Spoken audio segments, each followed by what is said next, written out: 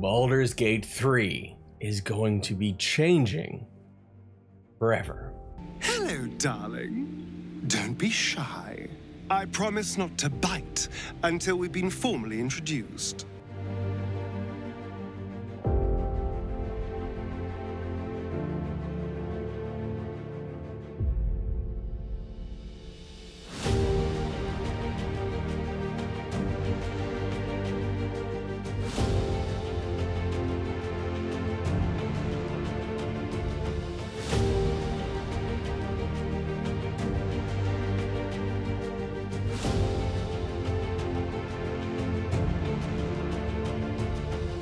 My name is Shadowheart, loyal servant of Shar, goddess of darkness and loss. It didn't take too long after patch 7 of Baldur's Gate 3, which added official mod support, for the modding community to completely and utterly break Baldur's Gate 3 in a way that is actually spectacular and amazing and has me super, super freaking excited for the future of the game. This could potentially be one of the greatest parting gifts that Larian could have given the community, but it's probably also kind of a mistake. Although people are already saying that it might be an intended mistake. But for, you know, I guess legal reasons, it's a mistake. It is essentially an infinite expansion to Baldur's Gate 3.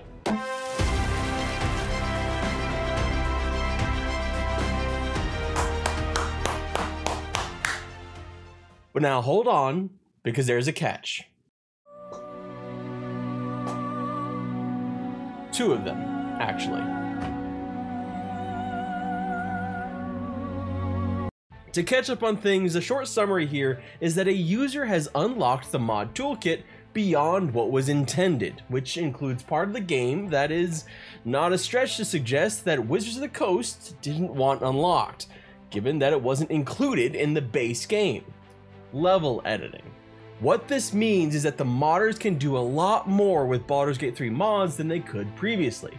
In fact, one modder has already begun making Avernus in BG3.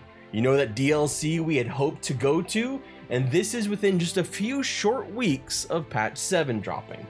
Level editing allows for an incredible expansion of the game. It allows the use of tools provided within the game, not unlike Witcher 3's Red Kit, or more relevant perhaps, Divinity Original Sin 2's DM mode.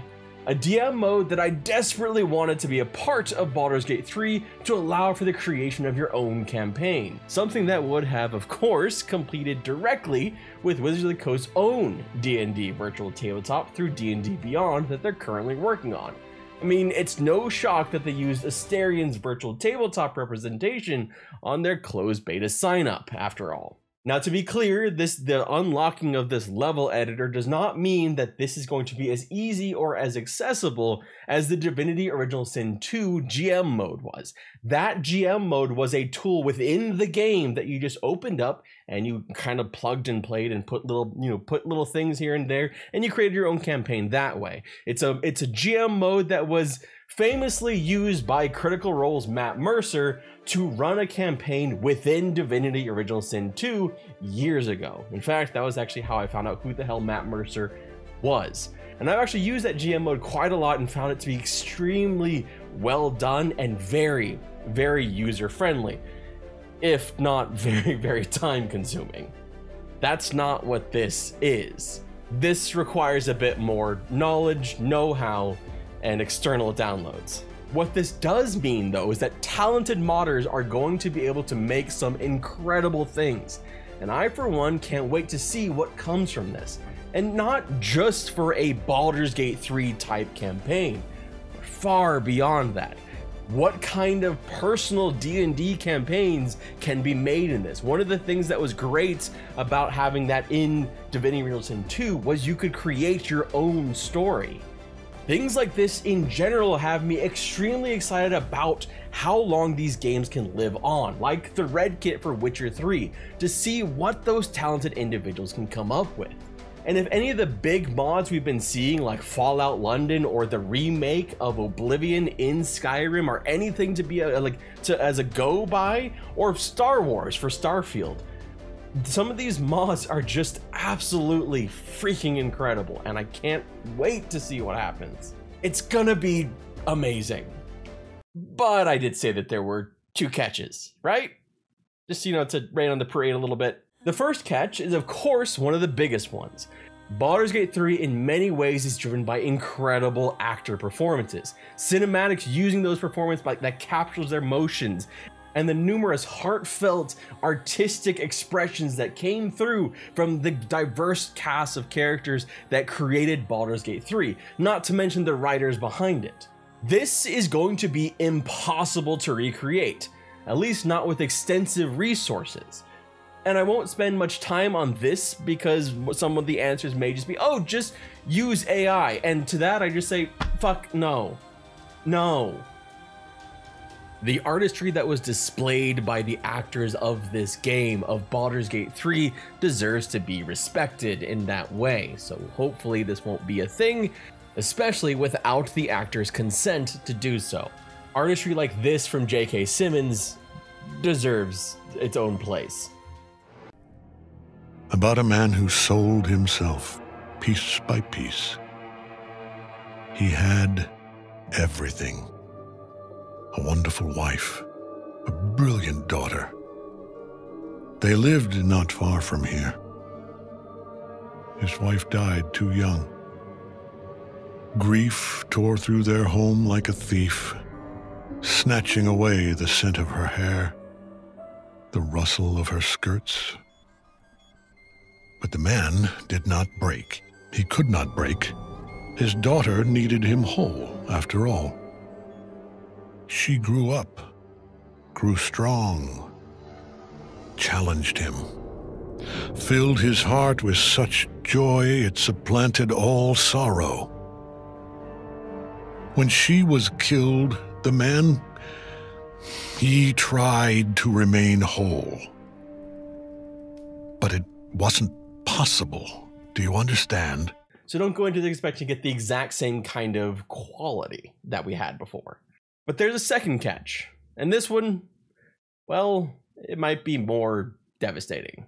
If we go back to the assumed reason why Larian didn't include a DM mode in BG3 like they did in Divinity, could this be something that Wizard of the Coast pursues to close up these level editing loopholes?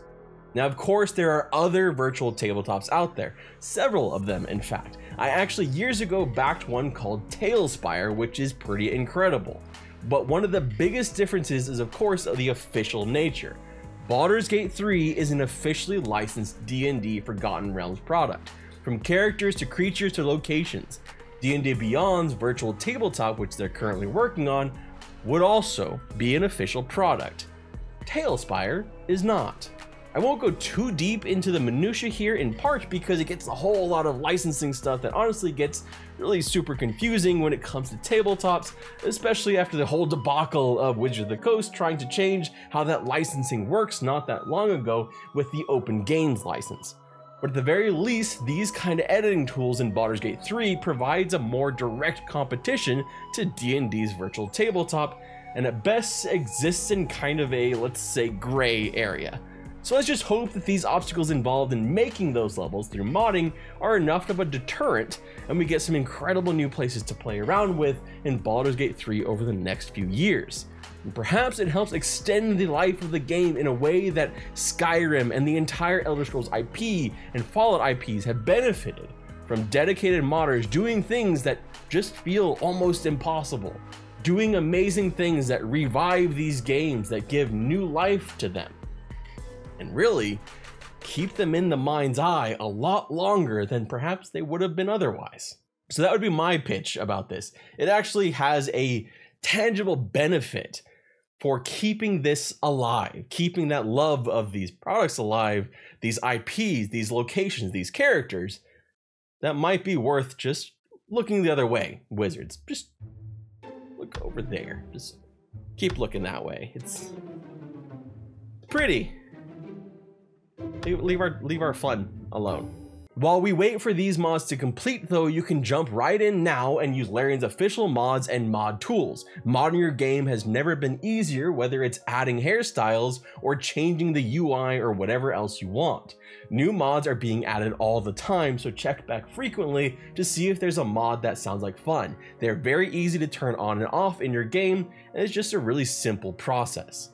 Now, one of the things that was also unlocked with this that wasn't actually supposed to happen is save editing. But holy crap, I really, really could have used a save edit not that long ago. A, a save editing feature that could have done a lot to help with events that happened in my honor mode run with Scratch and the Owlbear Cub. In fact, you can see that in this video right here.